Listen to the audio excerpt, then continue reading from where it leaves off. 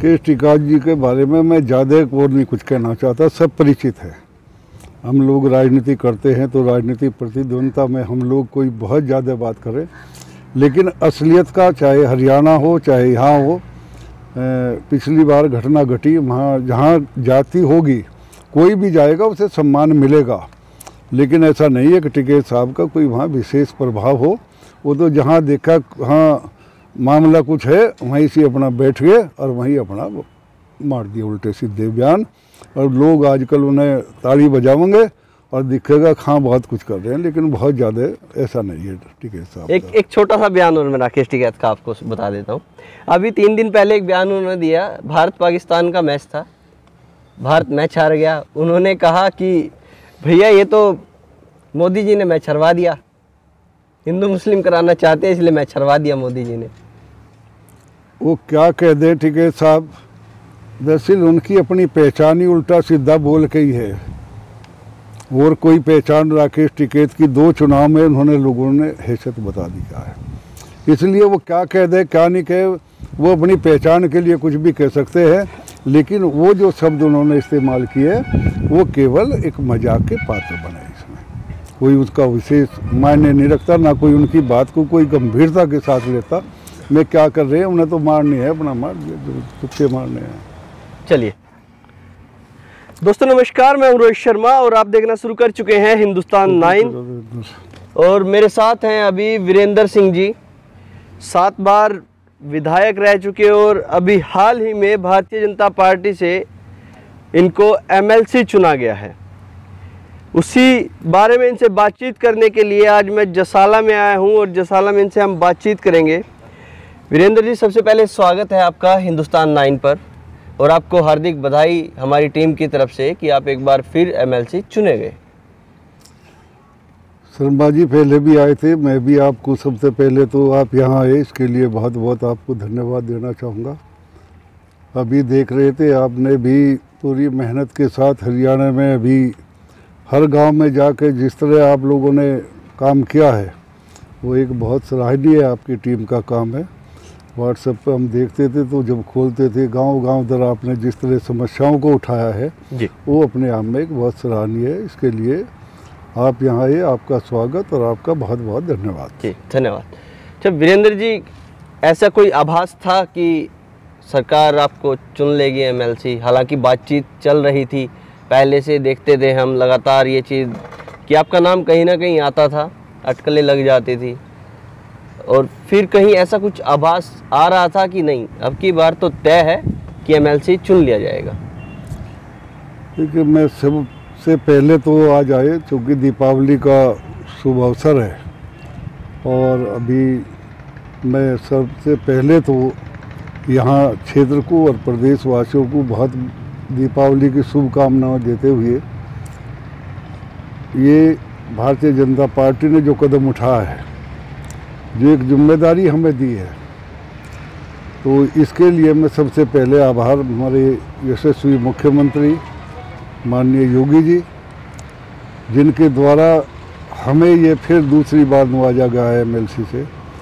माननीय हमारे यशस्वी प्रधानमंत्री माननीय मोदी जी हमारे प्रदेश अध्यक्ष जी और पार्टी के वे तमाम लोग, जिन्होंने हम पे ये दृष्टि की है, उसके लिए मैं सबसे पहले तो उनका भी बहुत आभार व्यक्त करता हूँ कि उन्होंने हमें इस लायक समझा और दोबारा फिर हमें ज़िम्मेदारी दी।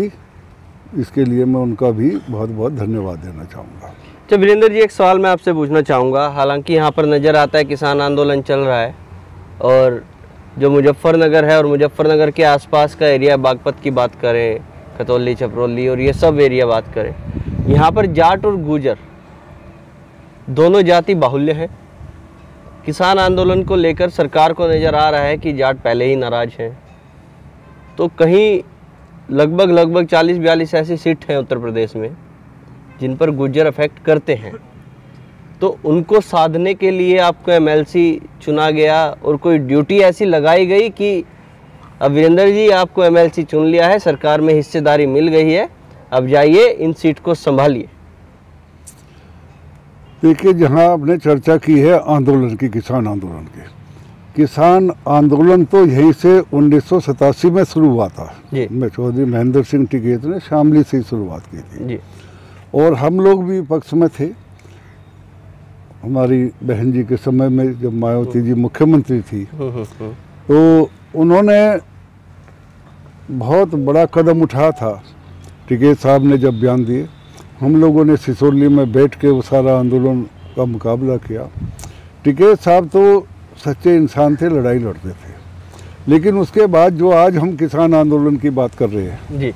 मैं समझता हूँ इस किसान आंदोलन में बहुत ज़्यादा दम नहीं है। किसान आंदोलन में गाजीपुर में बैठे लोग, हरियाणा और पंजाब के लोग वहाँ आए, और जो आंदोलन का रूप है, ये कोई आंदोलन है?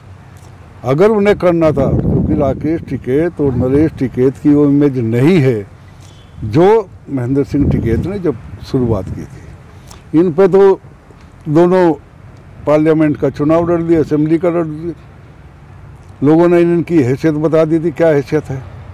तो इसलिए ये कहना कि इनकी वजह से यहाँ कोई जाट और गुजर समाज पे कोई प्रभाव पड़ेगा वो मैं समझता हूँ। उनका कोई ज़्यादा किसान यूनियन का कोई प्रभाव ऐसा नहीं पड़ेगा जिससे वो चुनाव में यहाँ डिस्टर्ब करेंगे। उनकी इमेज ऐसी नहीं है। यहाँ बात कर रहे हैं आप लोगों ने भी बहुत से गाँव में जाकर मैंने देखा आपका इंटरव्यू जी। लोगों के क्या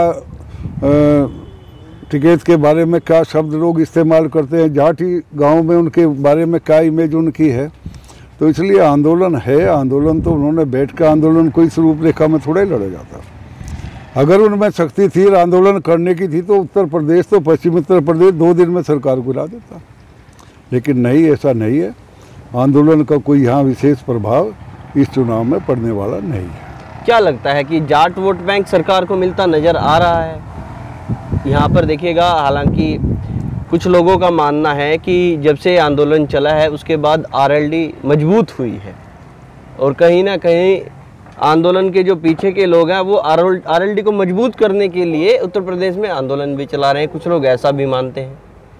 क्या जाट जो जाति है, वो भारतीय जनता पार्टी के साथ आती नज़र आ रही है? नहीं, देखिए, जहाँ तक जाट का प्रश्न है, स्वर्गीय चौधरी चरण सिंह जी ने के समय में जाट जिस तरह लामबंद था, हम भी इस पार्टी के अंदर रहे चौधरी अजीत सिंह को भी माना। लेकिन आज जो मैं समझता हूँ, यूनियन का प्रभाव तो नहीं है, लेकिन यूनियन राष्ट्रीय लोकदल की आड़ में अपना आके प्रभाव जमाना चाहती है।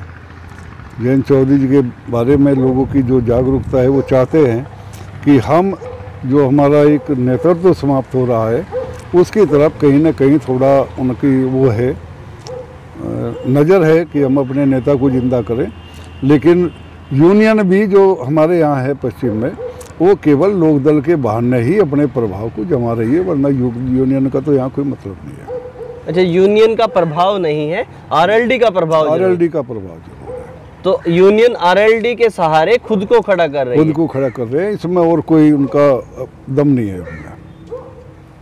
ये तो एक बड़ी अलग से तरह की बात आपने बताई नहीं सच्चाई यही है सच्चाई यही है कि आरएलडी देखिएगा वीरेंद्र सिंह कह रहे हैं कि आरएलडी में तो दम नज़र आता है लेकिन यूनियन में दम नहीं था।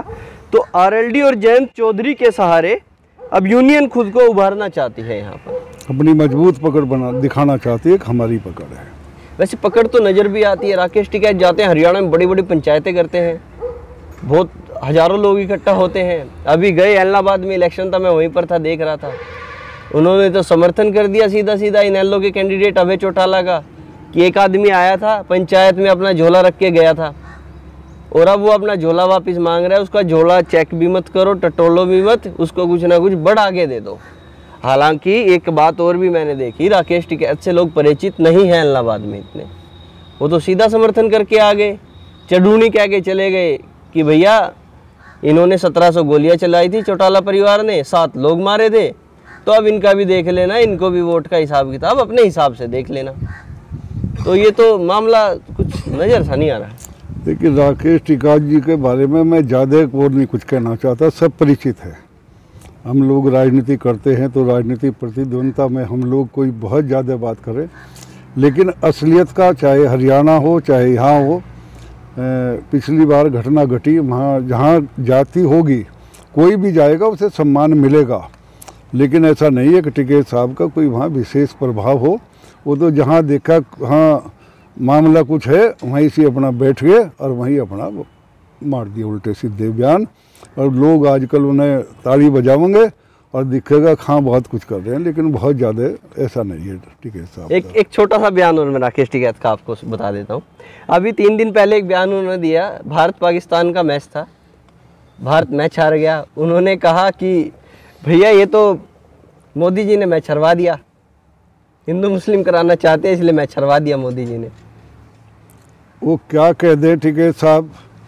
दरअसल उनकी अपनी पहचान ही उल्टा सीधा बोल के ही है। और कोई पहचान राकेश टिकैत की दो चुनाव में उन्होंने लोगों ने हैसियत बता दी क्या है। इसलिए वो क्या कह दे, क्या नहीं कहे, वो अपनी पहचान के लिए कुछ भी कह सकते हैं। लेकिन वो जो शब्द उन्होंने इस्तेमाल किए, वो केवल एक मज़ाक के पात्र बने इसमें। कोई उसका विशेष मायने नहीं रखता, ना कोई उनकी बात को कोई गंभीरता के साथ लेता। मैं क्या कर रहे हैं, उन्हें तो मारनी है, अपना मार दिया जो तुक्के मारने हैं।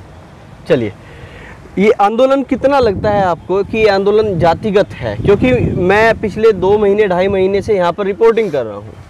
जब मैं ये कैराना कांधला शामली इधर के गाँव में जाता हूँ तो लोग बातचीत करते हैं, देखो रोहित भाई, हमारे गाँव से आंदोलन में कोई नहीं गया। लेकिन मैं थोड़ा सा आगे जाता हूँ शामली के बाद इधर कुछ जाट बाहुल्य गाँव है तो वहाँ पर कुछ लोग मेरे को मिल जाते हैं। हाँ जी, हम आंदोलन में जाने वाले लोग हैं।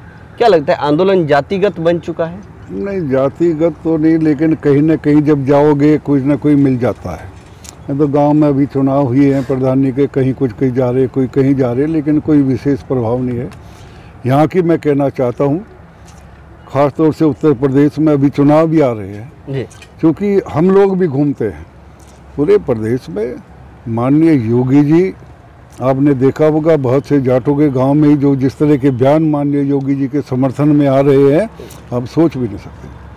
हर वर्ग का आदमी क्योंकि उनके योगी जी की हमें भी बहुत लंबी राजनीति की लेकिन इस तरह का व्यक्ति- व्यक्तित्व सादगी, ईमानदारी, मेहनत, कोई अपना नहीं।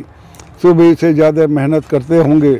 आपने देखा, अभी कोरोना की महामारी पूरी दुनिया के अंदर आई। उत्तर प्रदेश में जिस तरह उन्होंने कंट्रोल किया है, मेहनत करके, कोरोना में सब डरे हुए थे, लेकिन वो घूम रहे थे। ज़िले स्तर, ज़िले ज़िले पे अपना उन्होंने प्रोग्राम किया और महामारी को कंट्रोल किया। ये एक उनके व्यक्तिगत, व्यक्तित्व की बात थी। आज पूरे प्रदेश में जो विकास है, चाहे वो सड़कों का विकास है, कानून व्यवस्था है, कानून व्यवस्था में आप किसी से बात करिए, हर आदमी पहचानता है कानून व्यवस्था में आज क्या स्थिति है। और योगी जी ने साबित भी कर दिया। विपक्ष से मैं देख रहा हूँ, अखिलेश जी भी बयान दे रहे हैं, बुलडोजर बता रहे हैं, कोई कुछ बता रहे हैं। लेकिन क्या किसी की हैसियत आज उत्तर प्रदेश के अंदर है? माफिया हो, बदमाश हो, चाहे जेल के अंदर है चाहे कहीं एनकाउंटर में चले गए। ये एक अपनी छवि माननीय योगी जी ने जिस तरह की प्रदेश के अंदर बनाई है, उसे लोग, चाहे किसी वर्ग के हों, किसी समाज के हों, वो विकास के मामले में, कानून व्यवस्था के मामले में और जो सरकार के काम हैं, अगर हम गिनाए तो गिनाए नहीं जाएँगे। हमने देखा यहाँ कांदले के अंदर, अभी आवास दिए प्रधानमंत्री योजना में। बिना भेदभाव के अल्पसंख्यकों के हिंदुओं से ज़्यादा मकान बने हैं। कोई भेदभाव नहीं। करीब 300 मकान कांदले कांदले कस्बे के अंदर बने हैं। शौचालय दिए गए हैं गाँव के अंदर। सड़कों में आप देख ही रहे हैं, यहाँ से दिल्ली जाने के लिए, सहारनपुर जाने के लिए, मैं समझता हूँ जैसे बाईपास का निर्माण होएगा, शामली की स्थिति या यहाँ के लोगों की, यहाँ से जाने के लिए, दिल्ली जाने के लिए सड़कों में टूट जाती थी कमर। आज डेढ़ घंटे के अंदर हम यहाँ से बैठते हैं नोएडा बिना ढेके के बिना उसके चले जाते हैं। तो आज प्राथमिकता है, चाहे वो किसी वर्ग का हो, किसी समाज का हो, उनकी एक प्राथमिकता है। माननीय योगी जी, माननीय मोदी जी, जिस तरह का वातावरण उन्होंने किया है, इसमें चाहे यूनियन हो, चाहे विपक्ष का गठबंधन हो, चाहे कुछ हो, इसका कोई फ़र्क पड़ने वाला नहीं है। चुनाव आएगा, पता चल जाएगा।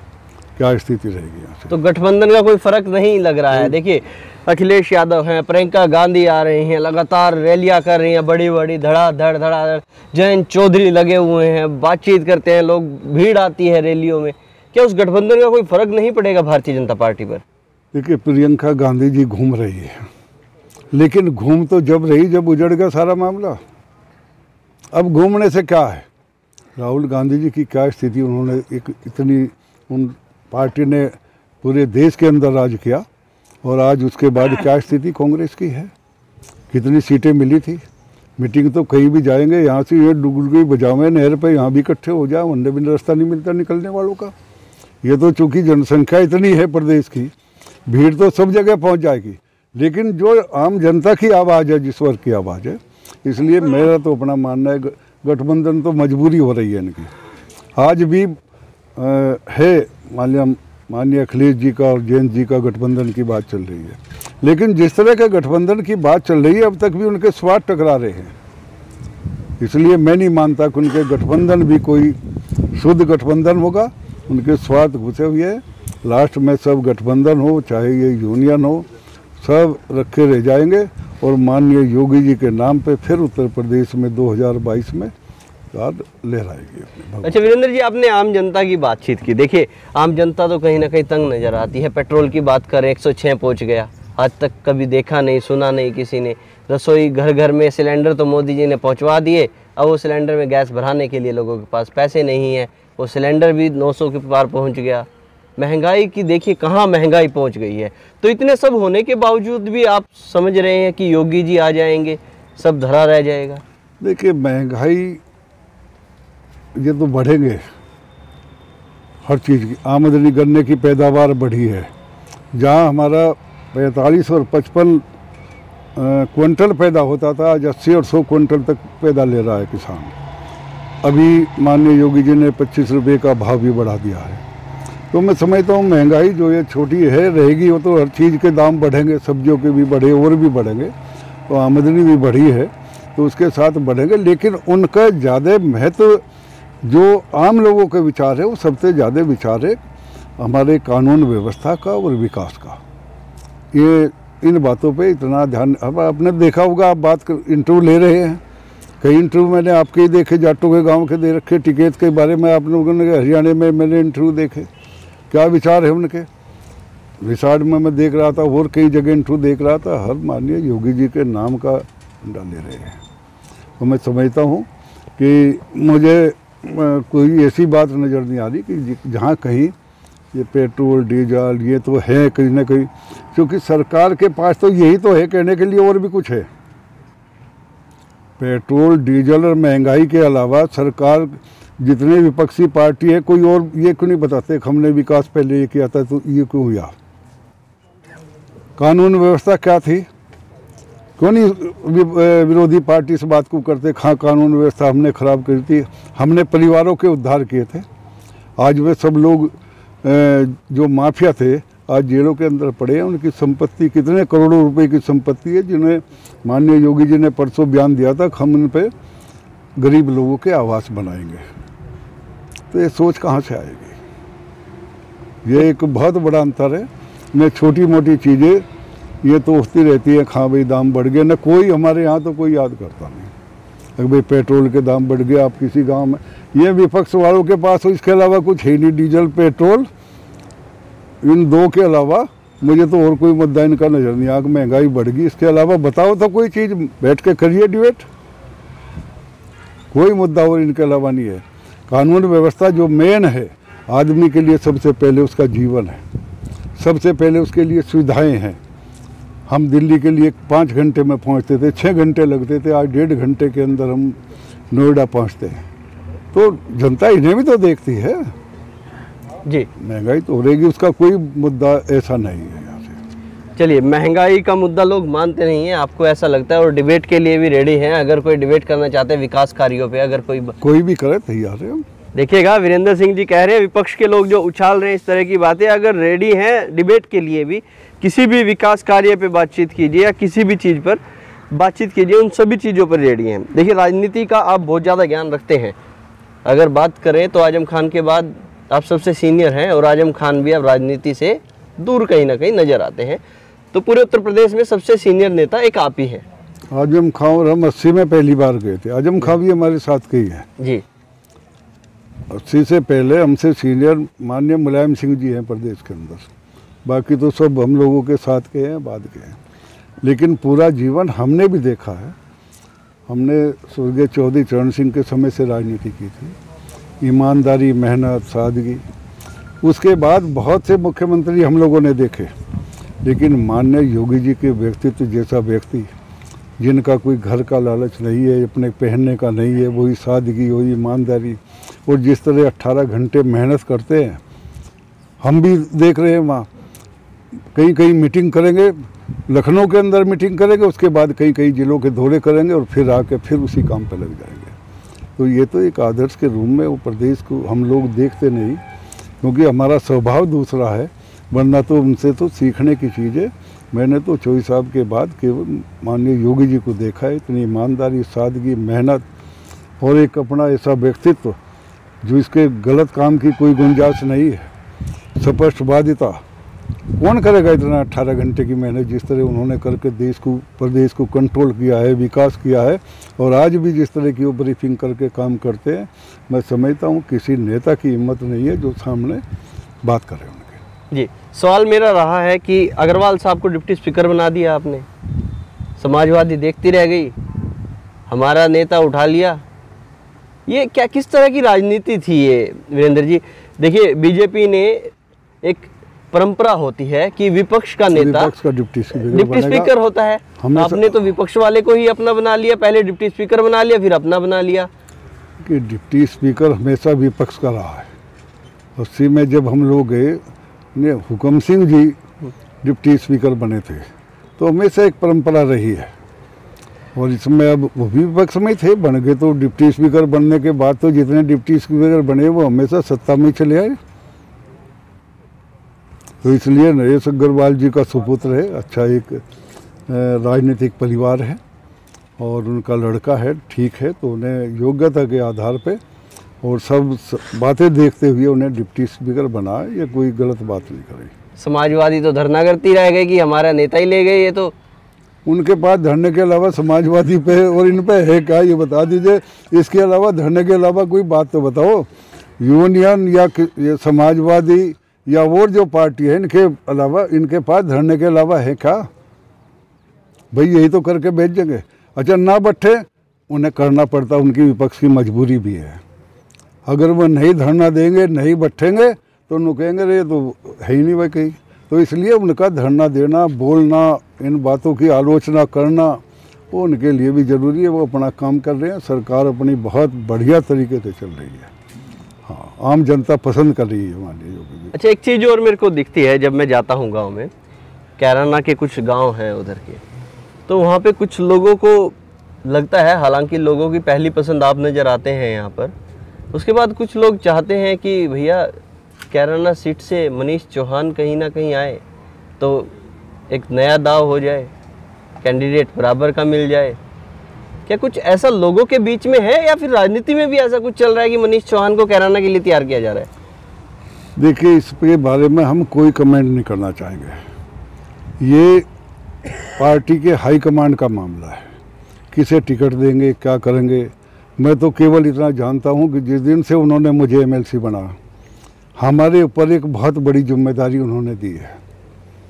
और हम उनमें से नहीं है, हम लोगों ने राजनीति में अगर ऐसे ज़िंदा नहीं रहा जाता जब से वो संभाली जब से राजनीति में आए, ईमानदारी, मेहनत और सादगी से मेहनत करके आप भी देख रहे होंगे। जो भी कितनी मेहनत करके, काम करके यहाँ मौजूद है। हमें तो जिस दिन से ज़िम्मेदारी मिली, हमें महसूस है। उन्होंने हमें ज़िम्मेदारी दी और हम उस दिन से मैं तीन बार तो खतौली चला गया कल चकनवाला में, अमरोहा में मेरा प्रोग्राम है। उसके बाद सहारनपुर है।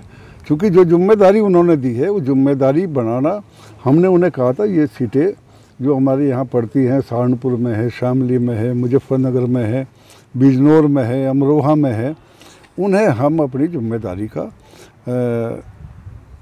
जो दी है, उसके बदले में उनकी मेहनत करके वो फल हम पार्टी को देना हमारी ज़िम्मेदारी है। इसलिए कल वे किसे टिकट करेंगे, ये तो उनका काम है। हमने माननीय योगी जी कहा था, टिकट के मामले में चाहे शामली हो, चाहे कैराना हो, चाहे आपकी थाना भवन कोई भी हो, चाहे बढ़ाना हो, बहुत से लोग आलोचना करते हैं, साहब कैंडिडेट कैसा है, वो कैंडिडेट कैसा है। ये पार्टी हाईकमान का काम है कि वो सर्वे कराए और सर्वे करा के वो जिसे जो उपयुक्त कैंडिडेट हो उसे दे। हमारा काम तो कैराना, शामली, थाना भवन मुजफ्फरनगर में इन्हें जिताना हमारी ज़िम्मेदारी है। जो ज़िम्मेदारी दी है वो काम हम अपना करेंगे। टिकटों का काम पार्टी हाईकमान का है किसे देंगे क्या करेंगे? हमारा काम अपना है। जो भी कैंडिडेट टिकट जो भी कैंडिडेट लेकर आएगा टिकट में आपकी कोई भागीदारी, नहीं भागीदारी को दिलवाना कटवाना। हमने कह दिया माननीय मुख्यमंत्री को ये काम आपका है कौन है? आप पार्टी जिसे भी करेगी हम लोग तो उसी को मेहनत करके उसे जितवाने का काम करेंगे। अब वो चाहे मनीष चौहान को टिकट दे चाहे मरगांका जी को दे चाहे किसी तीसरे को दे ये काम उनका है। इसमें हमारा कोई विचार नहीं। टिकट किसी को मिले मनीष चौहान को मिले मनीष चौहान को जिताने का काम करेंगे मृगांका को। मिले मृगांका जी को जिताने का काम करेंगे। अनिल को जिसे भी देगी पार्टी टिकट कहीं भी इनमें उन्हें हम जिताने का काम करेंगे। हमारी कोई प्रायोरिटी या कोई हमारा ऐसा वो हस्तक्षेप नहीं है कि हम किसी के टिकट के बारे में बात करेंगे इसमें कोई हस्तक्षेप वीरेंद्र सिंह जी की तरफ़ से नहीं, नहीं होगा। जिसको मर्ज़ी चाहे पार्टी उसको टिकट दे दे। हम जितवाने का काम करेंगे। अच्छा एक आखिरी सवाल के साथ मैं ख़त्म करना चाहूँगा। आपका भी समय मैंने बहुत ज़्यादा ले लिया। बहुत सारे लोग ये इंतज़ार कर रहे हैं। मैं बैठा हूँ मैं भी देख रहा हूँ 400-500 लोग जा चुके हैं अपने काम कराकर और ऐसे ही 400-500 को और आना होगा। अच्छा क्या लगता है कि जो विकास के एजेंडे हैं आपने बताया, कोरोना काल में हमने ये सब किया, वो किया, बहुत सारे काम हुए। ये सब मानते हैं, उत्तर प्रदेश की गुंडागर्दी कम हुई है, ये भी लोग मानते हैं। अब लगातार विपक्ष 300 यूनिट बिजली फ्री की बात कर रहा हो, उसके बाद बहुत सारी ऐसी चीज़ें, हम ये दे देंगे, जी वो दे देंगे, फला दे देंगे, बहुत सारी चीज़ें हैं। और ये चीज़ मानने लायक है कि उत्तर प्रदेश में जो किसान है, उसकी बिजली थोड़ी महँगी है। अब अगर उनको इस तरह के लालच दिए जाएँगे कि हम आपको बिजली ही फ्री दे देंगे, जो गन्ना किसान है, उनका भी मानना है कि देखो जी पेमेंट की बात हुई थी, चौदह दिन की पेमेंट नहीं आया है। हालाँकि कल मैं सिक्का गाँव में था, थाना भवन का गाँव है तो एक शर्मा जी थे, उन्होंने मेरे को एक बड़ी दिलचस्प सी बात बताई, और ये मेरे को कहीं ना कहीं लगी चुभी कि जी, मंत्री हमारे, थाना भवन के कन्ना मंत्री सबसे बड़ी बात उसके बाद लोगों का पेमेंट नहीं आ रहा। आ रहा तो उन लोगों का आ रहा है जो मंत्री के नज़दीकी हैं। चाहे उसमें कोई भी हो, किसी भी जाति का हो, ये कुछ मामला है क्या इस तरह का? देखिए, इसमें पेमेंट जो आता है, वो तारीख वाइज आता है, उसमें ये नहीं आता कौन हमारे नज़दीक है, कौन हमारे खिलाफ है। 140 करोड़ का पेमेंट यहाँ हो चुका है एक हज़ार चवालीस करोड़। आज तक चूँकि गन्ने की सप्लाई बहुत बड़ी है और पेमेंट ये बात सही है कि सरकार का निर्णय था भी ब्याज चौदह दिन के बाद ब्याज देंगे। और ये सब कहीं ना कहीं उसमें शुगर फैक्ट्रियों में दो चार फैक्ट्रियों में कमी रही। कुछ फैक्ट्रियों का पेमेंट बहुत अच्छा है लेकिन कुछ फैक्ट्रियाँ लेट रही है। माननीय योगी जी ने भी, भी कहा था हम बहुत जल्दी पेमेंट करवाएँगे। और मैं समझता हूँ कि बहुत जल्दी जो पिछला हमारा पेमेंट है वो निश्चित रूप से हो जाएगा। और आगे भी है इसमें रही है थोड़ा पेमेंट में दिक्कत। लेकिन ऐसा नहीं है कोई सरकार की नीयत वैसी हो या कोई ख़राब हो। कहीं ना कहीं फैक्ट्री वालों का है, बात हम लोग भी करते हैं। लेकिन मैं अपनी मजबूरी नहीं की कोई दिखा देते हैं। लेकिन बहुत जल्दी मैं समझता हूँ सारा भुगतान होगा। अभी बैठ के कल परसों भी, परसों हम लोग बैठे थे, राणा जी भी ये बात आ जाती है कि भाई इसमें क्या दिक्कत है? मैं आज लखनऊ है, कल आएँगे। और परसों फिर बैठ के एक शुगर फैक्ट्री का हम लोग भी बैठेंगे और डिस्कशन करा जाएगा कुछ शुगर फैक्ट्री का पेमेंट नहीं हुआ शुगर फैक्ट्री पे प्रशासन भी दबाव डाल रहा है और राणा जी का भी अपना मानना है कि हम निश्चित रूप से एक हफ़्ते के अंदर इनका पेमेंट करवाएँगे। ये बिजली वाला कैसे देखेंगे? किसानों बिजली वाला का तो हज़ार बताते हैं खेत का बिल आ जाता है ट्यूबवेल चल रहा है नहीं चल रहा है मुश्किल से तीन चार महीने चलता है बाकी आठ महीने का वो फ्री में भरते हैं। अब ये सच्चाई बहुत वैसी है, हम लोग कभी वैसी बात नहीं करते। बिजली के बिल वास्तव में ज़्यादा है, लेकिन बिजली भी तो ज़्यादा मिल रही है। आज 18 घंटे बिजली हम लोगों को मिल रही है। घंटे बिजली हम लोगों को मिल रही है। जब बिजली हम चलाएँगे, मीटर के हिसाब से बिल तो दे, ज़्यादा बैठेगा ही। ये बात सही है। लेकिन ये जो दूसरे केजरीवाल जी, ये मुफ़्त वाले ही तो हैं सबके सब। अभी बांट रहे, हम ये करेंगे ये करेंगे। मेरा अपना मानना है कि इस मामले में भी बैठ के अभी पिछले दिनों बात कर रहे थे, योगी जी को कहा था, दो ही समस्या है। लेकिन मैं समझता हूँ बिजली के बिल को तो दे लेंगे हम। पेमेंट हो जाए, गन्ने का हमारा पूरा पेमेंट चला जाए, बिजली 18 घंटे मिल रही है। पहली सरकारों की चर्चा क्या है? पहले तो चार जिलों में बिजली मिलती थी पाँच में। अब तो जो कोने का गाँव है, ज़िले का उसमें भी बिजली मिल रही है अट्ठारह घंटे। पहले तो हम लोग भी पूरी ताकत में होते हुए भी ज़ोर लगाते हमारे यहाँ बिजली चली जाने की बिजली उन्हीं चार जिलों में चलेगी। अब तो आम आदमी को बिजली मिल रही है। तो इसलिए है छोटी मोटी ये बात तो रहेंगी, लेकिन मेन मुद्दा है हमारा सबसे बड़ा, वो कानून व्यवस्था का है, विकास का है, और जो गरीबों को जितने मिल रहे हैं, चाहे किसान हो, किसान यंत्र दिए गए ठीक है, आपका गैस सिलेंडर का आप बता रहे हैं, लेकिन सिलेंडर तो दिए ही है सरकार ने। कोरोना के टाइम में महँगाई क्या होगी, गरीब लोगों को कितना राशन मिला है? पूरे प्रदेश के अंदर दिया गया है। बाहर कोरोना में जहाँ पता ही प्रदेश सरकार उन्हें लाने का काम करा भेजने का काम करा ये सरकार ने तो अपनी ज़िम्मेदारी जो जिस स्तर पे जहाँ सरकार की ज़रूरत पड़ी, चाहे कोरोना महामारी हो, चाहे उसमें बाहर से लाने की व्यवस्था हो, या जो गरीब लोग हैं, मैं देख रहा हूँ हमारे यहाँ गाँव के अंदर प्रधानमंत्री मकान उसमें आए थे। नहीं है कोई भी। वही नहीं है, कोई प्रत्याशी बचा हो, बहुत गाँव के अंदर नहीं बचे। तो ये सब सुविधाएँ सरकार ने अपने स्तर पर दी हैं। रही ये छोटे मोटे विपक्ष, भाई ये चलेगा, उनके पास है ही क्या? और इसके अलावा तो उठाएगा, लेकिन आम जनता को आप भी देख रहे आप घूमे हम लोग भी बीच में हैं यहाँ। और मैं तो समझता हूँ तो संतुष्ट है। कहीं ना कहीं कुछ है भी दो महीने का टाइम है, हम लोगों को ज़िम्मेदारी मिली है, हम लोग बैठ के इसे नॉर्मल करेंगे। अच्छा क्या लगता है, सीट पहले से ज़्यादा बढ़ पाएँगी भारतीय जनता पार्टी की उत्तर प्रदेश में या कम हो जाएँगे? लक्ष्य तो हमारा बढ़ाने का है 300 पार करने का है भारतीय जनता पार्टी का। अब इनका गठबंधन क्या होगा, किस स्थिति में लगेंगे, ये तो वक्त आने पर पता लगेगा।